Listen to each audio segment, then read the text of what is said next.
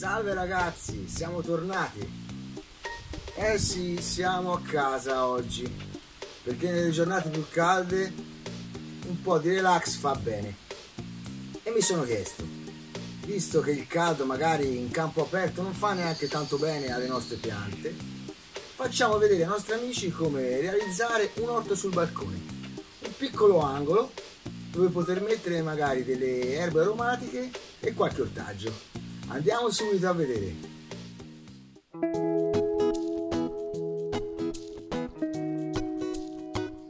Bene, abbiamo spostato la nostra area relax, che sicuramente rimetterò dopo, per portarvi a vedere i contenitori che ci serviranno per il nostro orto sul balcone di varie dimensioni, ovviamente in relazione alla pianta che noi andremo a mettere. Ad esempio, in un vaso così di profondità di 15 cm noi andremo a mettere delle piante piccole, ad esempio come cipolle, come insalate, come ravanelli.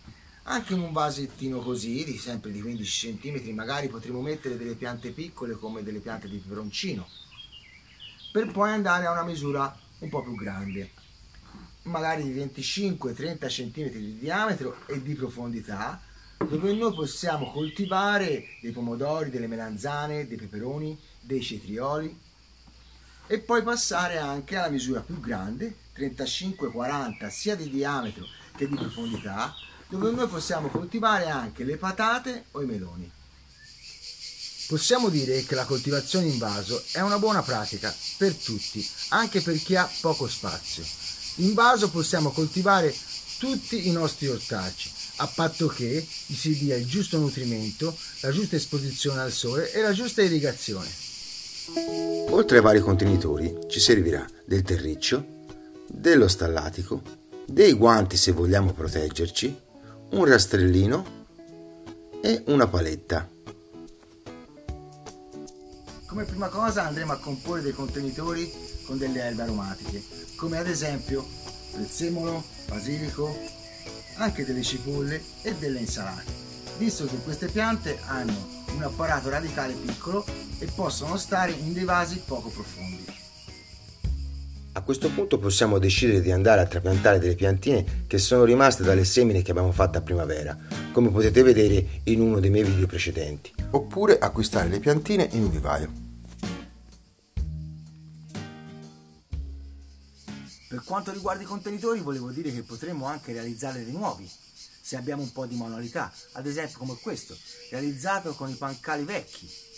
Oppure potremmo pensare di riciclare delle bottiglie in plastica o dei secchi in plastica. Prima di mettere le nostre piantine andremo a vedere come preparare i vasi, che andranno sistemati a strati. Ad esempio, il primo strato andrà sistemato con della ghiaia grossa o dei ciottoli, oppure dell'argilla espansa che possiamo trovare in commercio. Come prima cosa, come abbiamo detto, andremo a formare il primo strato, posizionando della ghiaia grossa, dei ciottoli o dell'argilla espansa, per poi andare a coprire il tutto con un sottile secondo strato di terriccio.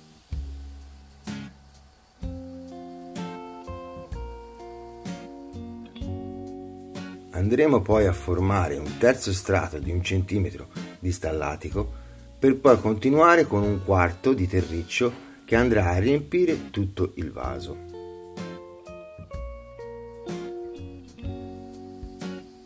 E infine ricordiamoci di pressare bene tutto il terriccio.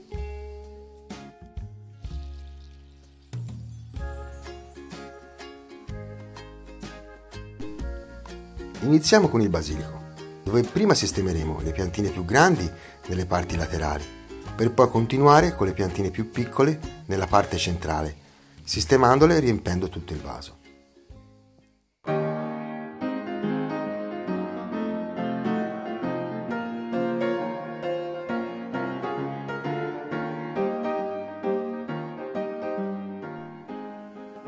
Continuiamo con il prezzemolo, sistemandolo magari questa volta in modo alternato, visto che abbiamo meno piantine.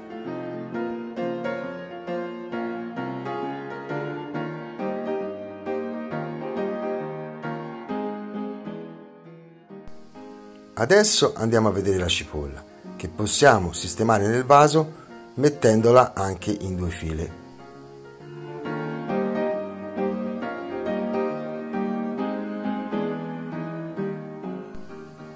Possiamo anche decidere di tagliare un po' la parte alta per stimolare la crescita.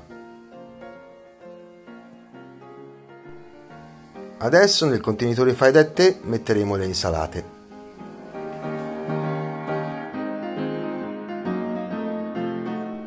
Aggiungendo anche qualche cipolla.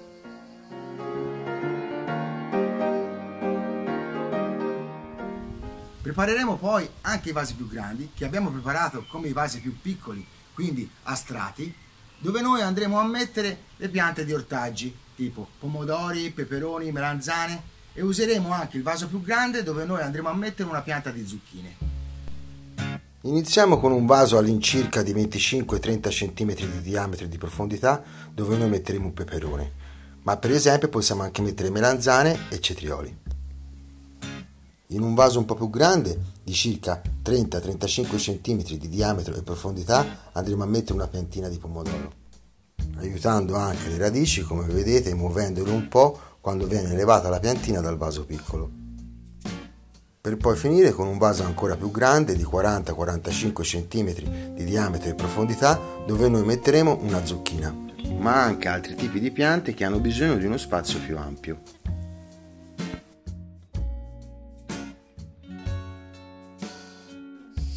Potete mettere diversi ortaggi in base al posto che avete. Noi adesso andremo a vedere qualche consiglio per come sistemare i vasi sul balcone e anche qualcosa sull'impollinazione. Come potete vedere abbiamo usato delle panchine in legno fa da te o dei tronchi di albero per tenere i vasi sollevati, in modo che mettendo diverse piante vicino non si diano noia l'una con l'altra, essendo a livelli diversi, così agevolando il lavoro. Quindi abbiamo sistemato due cetrioli laterali con gli appositi supporti, delle melanzane dietro sopra i tronchi di legno, un peperone a terra e uno sul tronco di legno, due piante di zucchine a terra, pomodori a terra, basilico rialzato, prezzemolo rialzato, insalate a terra e cipolle a terra. Adesso arriviamo all'impollinazione, che bene o male conoscete tutti. Ad esempio, i cetrioli hanno dei fiori maschi e dei fiori femmina sulla stessa pianta che si devono impollinare a vicenda. Invece una pianta, ad esempio la melanzana, ha dei fiori ermafroditi. Queste due tipologie che abbiamo visto fanno comunque parte della stessa categoria delle piante monoiche, che hanno fiori maschili, femminili o ermafroditi sulla stessa pianta. Altrimenti esiste anche la categoria delle piante dioiche, che hanno fiori femminili e maschili su piante diverse. Volevo spiegare velocemente a grandi linee anche come funziona l'impollinazione artificiale, quella manuale praticamente, quando quella naturale non è sufficiente. Noi adesso useremo le mani ma viene anche usato del cotone o dei pennelli. Avviene semplicemente dal trasferimento manuale del polline dal fiore maschio al fiore femmina, nel caso appunto la pianta abbia i due sessi diversi di fiori.